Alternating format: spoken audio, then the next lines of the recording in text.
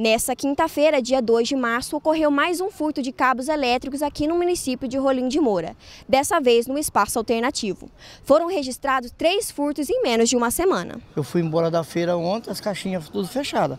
Primeiramente eu liguei para os feirantes daqui que trabalhou aqui, que o pula-pula, que vai ao último. Aí ele falou, não, estava tudo normal a hora que eu vim embora.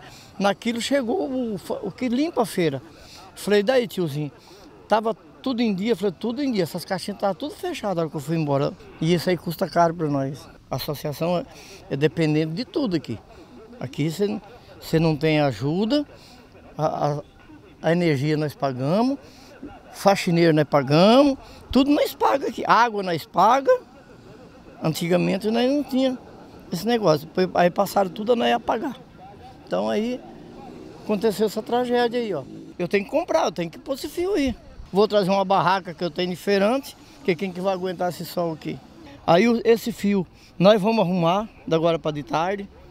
Vou chamar uns dois colegas aqui para me ajudar.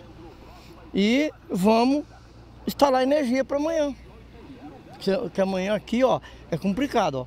Do jeito que cortou aqui, ó, eles cortaram aqui, pega desde ali, do trilho do seu Albino, passando por aqui, essa fase todinha, e esse meio aqui, ó. Todo isso aqui está sem energia. Então eu tenho que vir emendar esse cio.